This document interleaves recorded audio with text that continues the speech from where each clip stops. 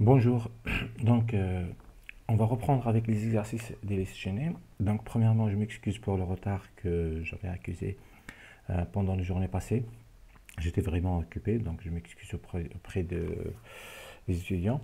Donc ici, euh, nous allons faire l'exercice numéro 4 sur les listes chaînées qui consiste à faire l'opération de soustraction entre deux listes chaînées L1 et L2.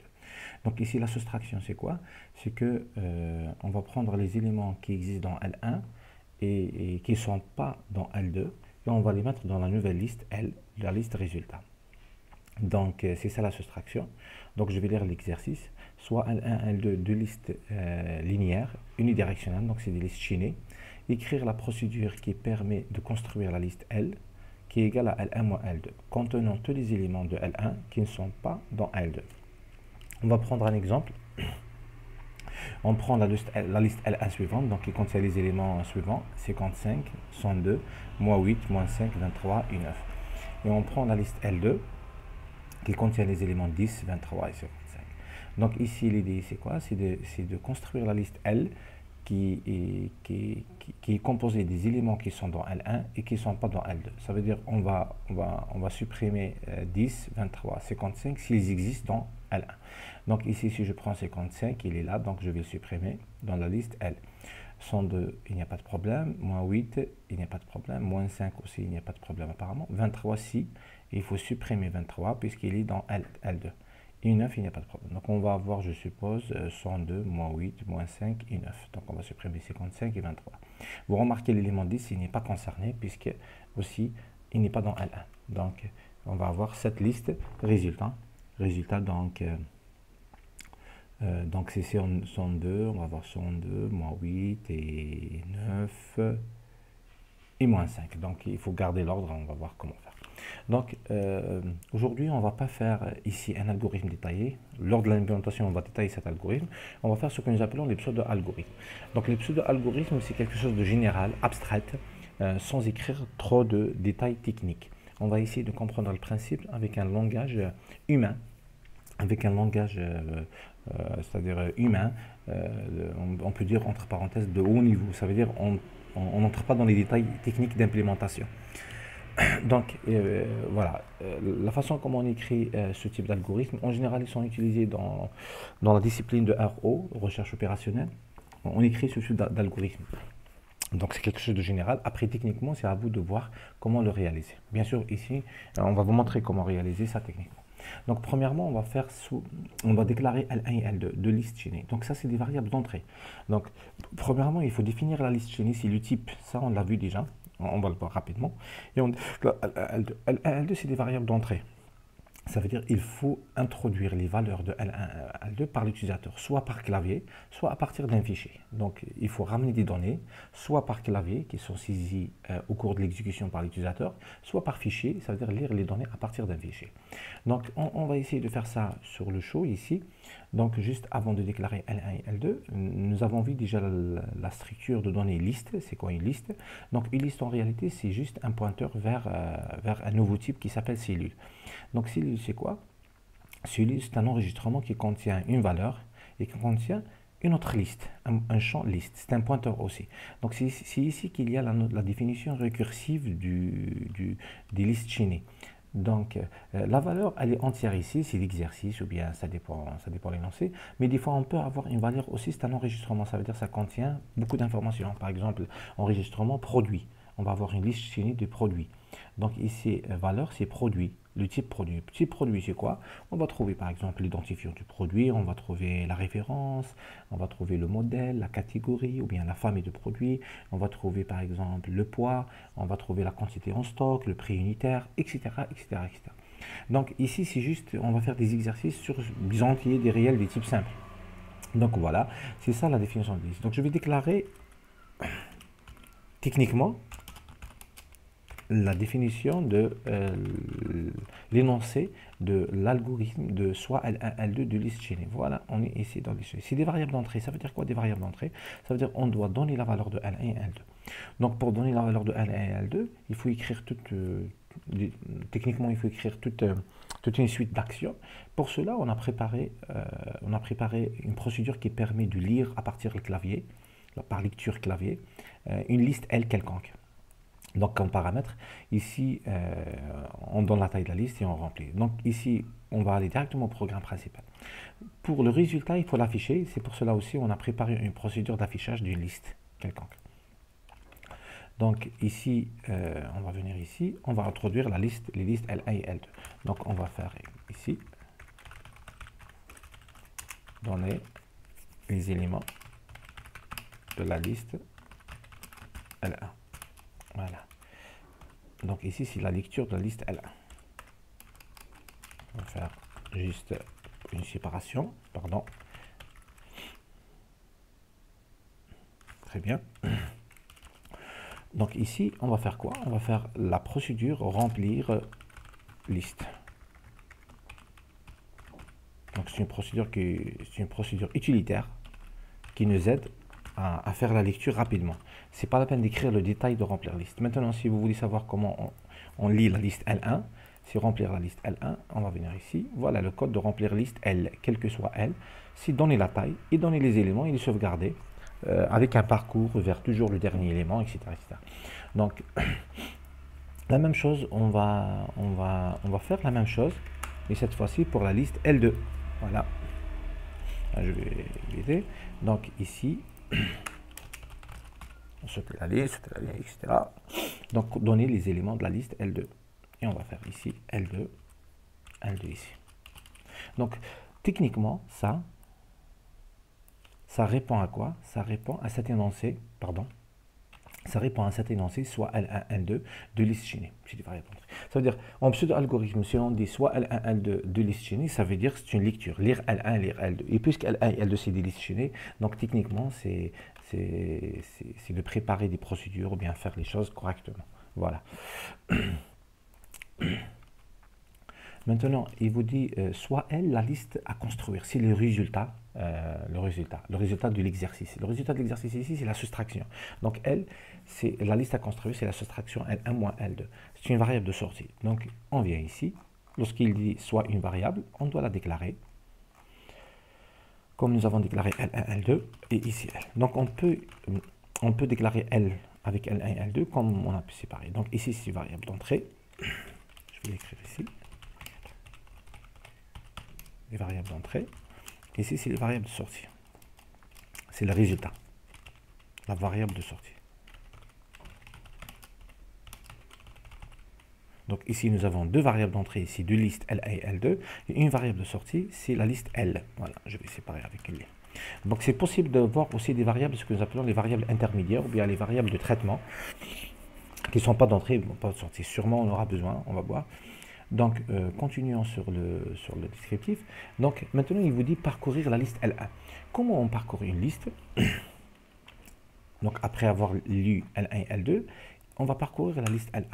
Ça veut dire on va parcourir tous les éléments de L1. Donc, ici, on va faire le parcours de L1. Je vais écrire ici le parcours de la liste L1.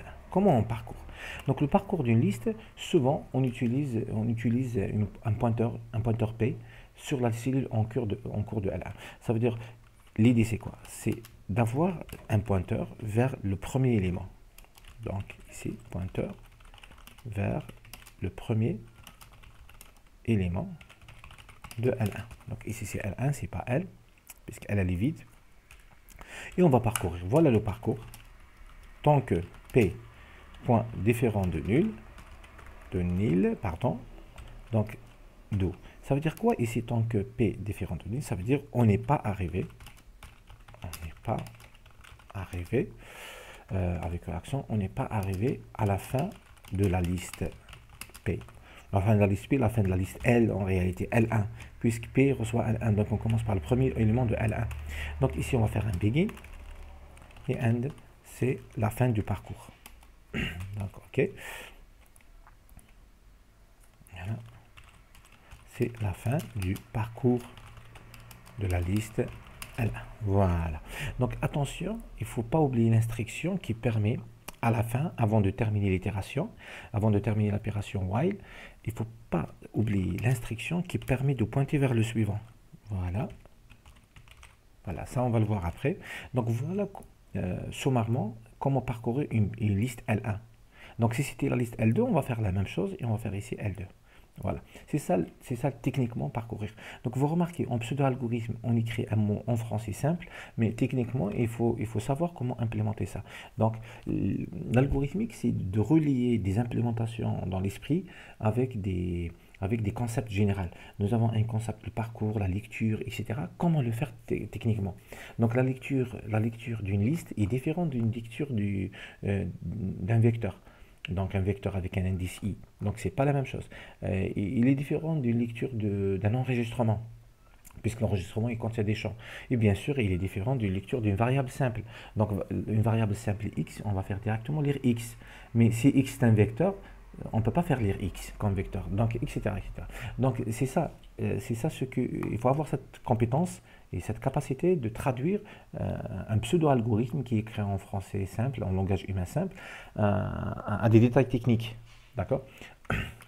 Donc le suivant, on cherche la valeur pointée par P, donc P.valeur, voilà, dans, dans L2. Comment faire? Obligatoirement, on doit, obligatoirement, on doit parcourir la liste L2. Puisque si on veut chercher une valeur dans une liste, ou bien dans un vecteur, dans un tableau, il faut parcourir le vecteur ou bien la liste. Donc ici, il faut déclarer aussi un autre pointeur Q. Voilà, donc ici on utilise, euh, en utilisant un autre pointeur Q. Donc qu'est-ce qu'on va faire? Il faut faire Q reçoit L2. Donc ici, qu'est-ce qu'on va faire?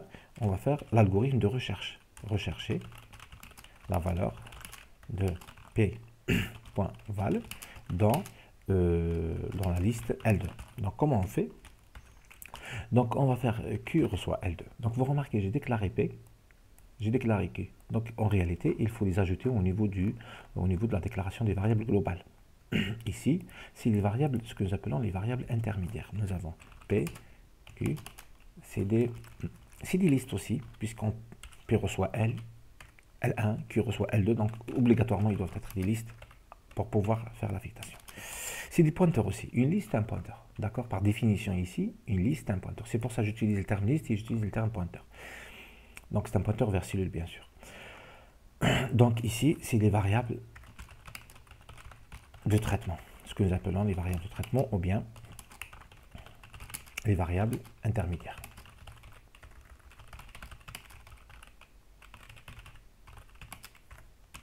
Voilà. Donc revenons à notre programme notre euh, implémentation de l'algorithme, du pseudo-algorithme. Donc Q reçoit L2.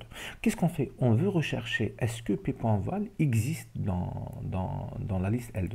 Donc cette fois-ci, le parcours, euh, le parcours de la liste L2, il est conditionné par euh, deux, deux, conditions. Il est conditionné par deux tests. Le premier test, c'est que on n'est pas arrivé, on n'est pas arrivé à la fin de la liste. Voilà, comme, comme celui de L1. Donc ici, P différent de N, ici Q Donc ça, c'est la première condition. Donc toujours, il faut faire begin. Et ici, c'est la fin de parcours de la liste L2. voilà. Donc, il ne faut pas oublier l'instruction ici. Q reçoit Q euh, suivant. Donc, le suivant. Donc, aller, ici, c'est aller... Euh, je vais faire comme ça, pointeur. J'ai peur que le double slash ça marche pas pour le bordon de Pascal. Donc ici, euh, allez à l'élément suivant. Hmm, qu'est-ce que j'ai fait? Voilà. La même chose ici. Allez à l'élément suivant pour aller suivant de L2 et bien sûr, on est dans le parcours de L2. Ici, c'est aller à l'élément suivant de L1. C'est très important ces commentaires pour vous faciliter la lecture du. Donc j'ai oublié la collade. Voilà. Donc ici, euh, très bien. Je vais éloigner. Donc, c'est pas uniquement ça, c'est pas uniquement cette condition. Nous avons dit que c'est une recherche. On veut rechercher la valeur p.val dans L2. Donc, il faut faire le parcours. Et en même temps, il faut savoir est-ce qu'on a trouvé ou bien, ou bien non. Ça veut dire, quand est-ce qu'on va s'arrêter? On va s'arrêter si l'élément est trouvé. Si l'élément est trouvé, c'est pas peine de continuer la recherche. C'est bon, il existe. Donc, on veut savoir est-ce que p.val. Donc, il y a deux façons pour faire. La première façon, donc P.val différent. Il doit être différent. On veut s'arrêter lorsqu'on trouve. Ça veut dire ici, on ne fait pas égal. Donc, il doit être différent de Q val. Ça veut dire quoi cette phrase-là? Cette phrase-là, ça veut dire quoi? Ça veut dire que euh, la valeur pointée par P est différente de la valeur pointée par val. Donc si je prends toute la, condition, toute la boucle, tant que Q est différent de nul, et en même temps, la valeur de P est différente de la valeur de Q. Donc on va faire, on va aller au suivant. Voilà. Quand est-ce qu'on va s'arrêter? On va s'arrêter soit Q égale à nul, soit P.val égale à Q.val. Ça veut dire soit ça est faux, ou bien ça est faux. Le fait de dire ça est faux, ça veut dire différent devient égal. Ça, c'est différent. Inférieur, supérieur, ça veut dire différent. Donc ça, ça devient égal. Soit ça est, faux, ça veut dire P.val égal. Donc il y a deux cas de sortie. Soit on sort par Q égale à nul, soit on sort par P.val égal à, à Q.val. Donc ici, on va tester. Si, donc ici je reviens à la, euh, parcours, donc si la valeur pointée par P est trouvée dans L2, donc ça veut dire quoi? Ça veut dire que Q, donc si on prend Q égale à nul, on va commencer par ça, on va commencer par l'inverse, donc Q différent de nul. Donc c'est un test. Ça veut dire quoi Q est différent de nul Ça veut dire, logiquement, ça c'est vrai. Q est différent de nul, il est vrai. Ça veut dire, obligatoirement, ça est faux. Donc ça, on va avoir ici égal. Donc, automatiquement, on comprend, donc on comprend que P.val égale à Q.val. Donc, il y a égalité. Dans ce cas-là, ça veut dire quoi aussi? Ça veut dire quoi? C'est qu'on a trouvé la valeur de P dans Q. Donc, ici, si la valeur pointée par P est trouvée dans L2, donc ça veut dire quoi? Ça veut dire P.val se trouve dans euh, la liste L2. Voilà, c'est ça. Donc, qu'est-ce qu'on fait? Pardon, ici, c'est... Qu'est-ce qu'on fait? En réalité, on ne fait rien. Ça ne m'intéresse pas si ça se trouve. C'est pour ça, on ne fait rien. Donc, normalement, ce test, il, n'est pas important pour nous. D'accord Ici, on a écrit, on n'y fait rien. Maintenant, comment on va faire? On va faire au cas de sinon. Au cas de sinon, ça veut dire quoi? Au cas de la valeur .tp n'est pas trouvé. Ça veut dire que ça ne m'intéresse pas le cas où ça se trouve. Ça m'intéresse le cas où ça ne se trouve pas. Donc ici, je vais faire quoi? Je, vais, euh, Ça, je vais le faire en commentaire pour vous. C'est juste pour que vous compreniez le principe. Donc, puisqu'on n'a pas besoin de ça en réalité. Donc, euh, euh, dans ce cas-là, dans ce cas-là, je vais faire de slash ici. Donc de slash, c'est les commentaires avec langage C, et C++, Java, etc. C'est le commentaire une seule ligne. Donc de slash. C'est pas la peine de faire euh, le début de commentaire et la fin de commentaire. Par contre, les accolades ouvrantes et accolades fermantes, pour le langage Pascal, c'est début et fin de commentaire. Par contre, les autres langages de programmation comme le C et le Java, accolade ouvrante, c'est le début euh, d'une instruction, bien d'un bloc, et accolade fermante, c'est la fin d'un concept, d'un bloc, ou bien d'une classe, ou bien etc. Alors, ici, ça ne m'intéresse pas le cas de, ça se trouve. Ça m'intéresse pas le cas de, masse de, ça se trouve pas. Donc, dans le cas où l'élément ça se trouve pas, ça veut dire quoi? Ça veut dire Q égale à nul. Ok? Voilà.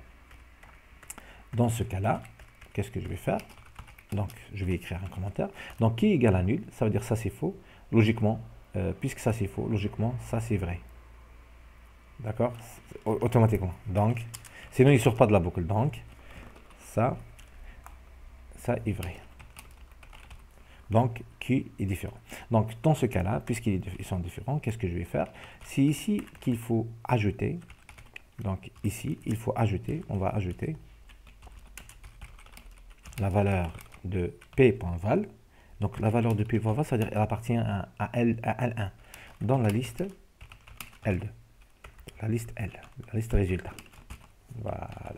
Donc c'est ça. Si la valeur pointée par P n'est pas trouvée dans L2, alors ajoutez cette valeur à la liste L. Donc on va voir euh, les étapes, comment ajouter une valeur à une liste. Donc ici, il y a deux cas. Soit la liste L est nulle, soit la liste L n'est pas nulle. Donc créer un nouveau maillon cellule dans le cas où L est nulle. Donc on va créer un nouveau maillon. Si, la, si L est vide, donc on va faire new L en réalité. On va, on va affecter ce maillon directement à L. Sinon, euh, sinon il y a deux cas ici, soit elle est vide, donc on va, on créer par rapport à elle, ou bien on va affecter le maillon créé à elle, sinon euh, elle n'est pas vide. Dans le cas elle n'est pas vide, on doit avoir un autre pointeur qui pointe vers la, dernière cellule de elle. Comment on va faire tout ça? L'idée, elle est très simple. Donc, on va suivre le pseudo-algorithme. On va créer, on va créer un nouveau maillon. Donc ici, je dois avoir un nouveau maillon R. On va créer R, un nouveau maillon, une nouvelle cellule.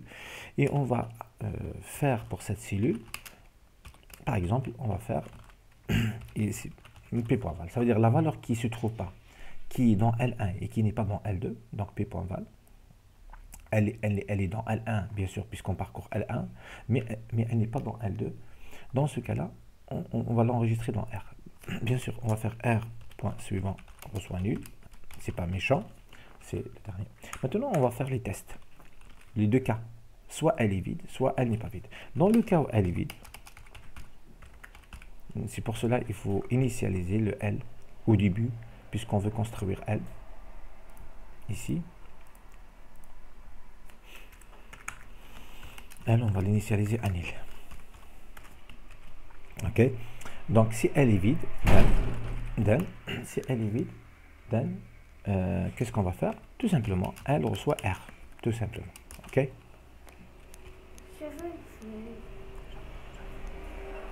D'accord? Donc, je vais, euh, ajouter, euh, je vais ajouter, euh, pardon, je m'excuse.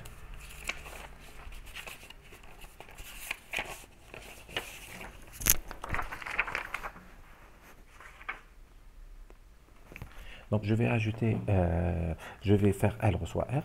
En réalité, ce R-là, c'est pour créer le nouveau maillon. ok, voilà. Et on va faire quoi? On peut faire cette façon-là, c'est pas méchant. Bien sûr, on vient de créer, on vient de créer le, on, vient, vient de créer le maillon, pardon. Il y a plusieurs façons de faire la chose. Donc ici, nous avons dit qu'il y a euh, un pointeur fin L. Donc fin L reçoit L. Puisque L, il contient un seul élément. On vient de le créer. C'est R. Maintenant, sinon, dans le cas,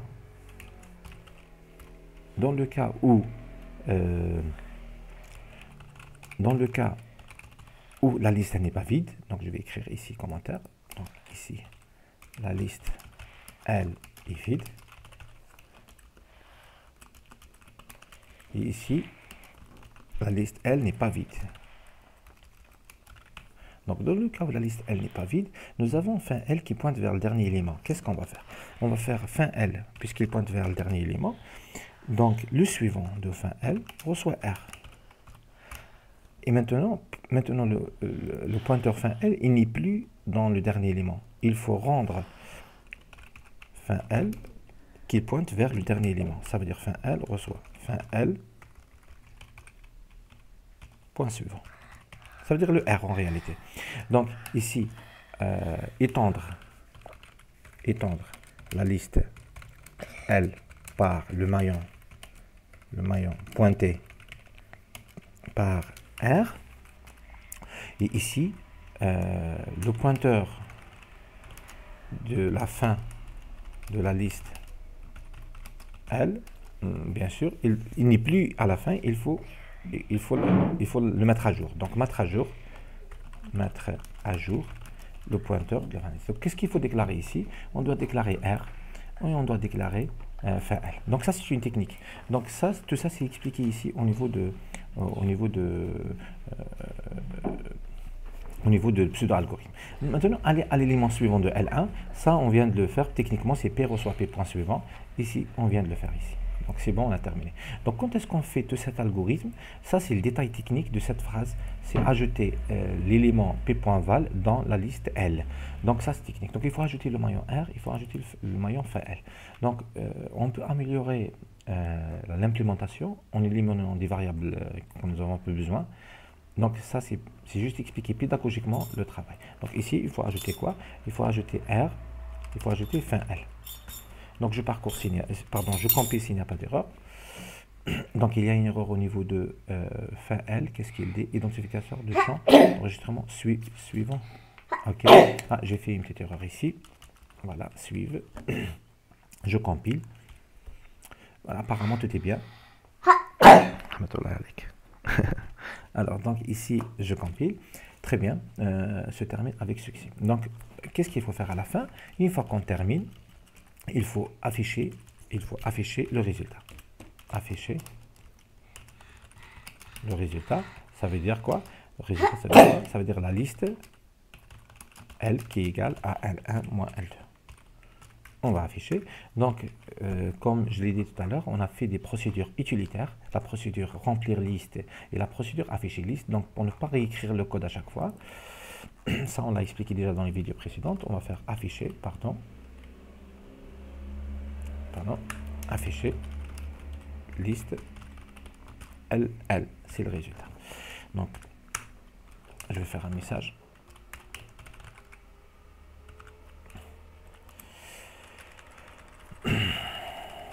pardon, ici c'est pas en C, on n'est pas en langage C bien en langage. Voilà. Maintenant, la soustraction des deux listes. L1 et L2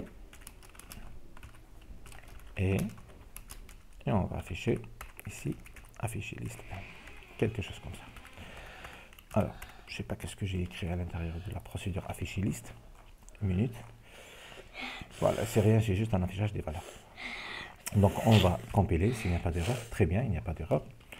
Donc j'exécute donc on va donner les éléments de la liste L1 on va donner des éléments par exemple 10 55, moins 9, 8, 88. Ah, pardon. Tout d'abord, on doit donner la taille. je vais donner 5 éléments. Je vais donner 1, 5, 66, moins 8 et 6, et 9. D'accord?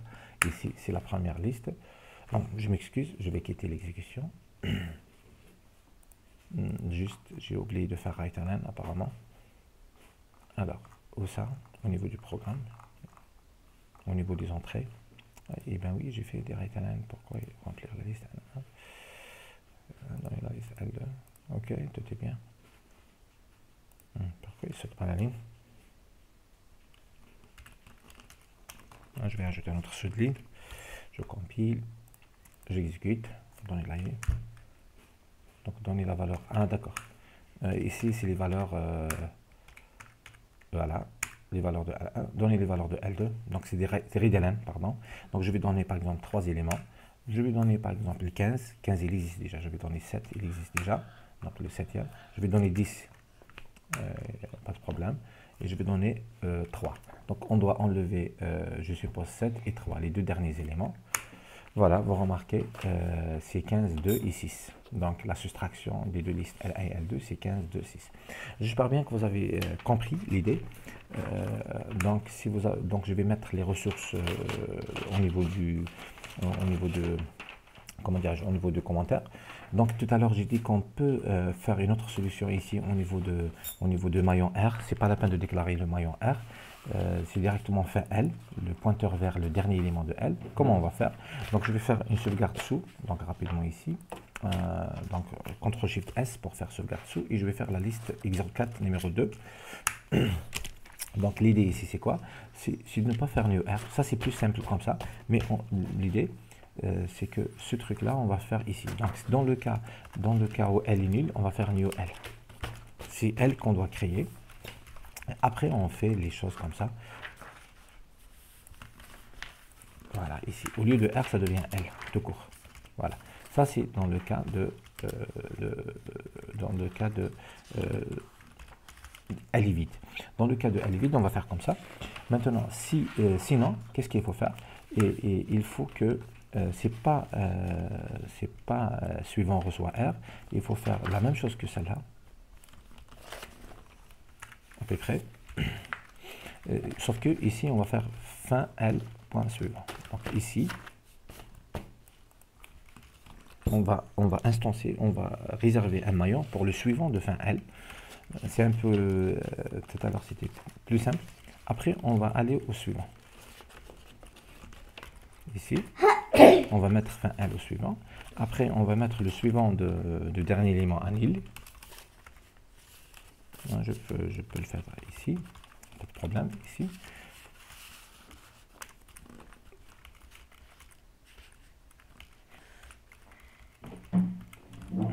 Voilà. La même chose, je suppose. Et ici, euh, c'est fin point balle. Il n'y a plus L, c'est le dernier élément. Donc, voilà. C'est ça la deuxième solution. Euh, je sais pas, donc euh, juste un test rapide. je vais faire trois éléments. Et je vais faire 2, je vais faire 1 et 3. On va voir la liste qui contient uniquement l'élément 2. Pourquoi? Tout simplement 1 et 3, ils existent dans L2. Donc voilà, j'espère bien que vous avez compris. je vous dis bon courage et travaillez bien.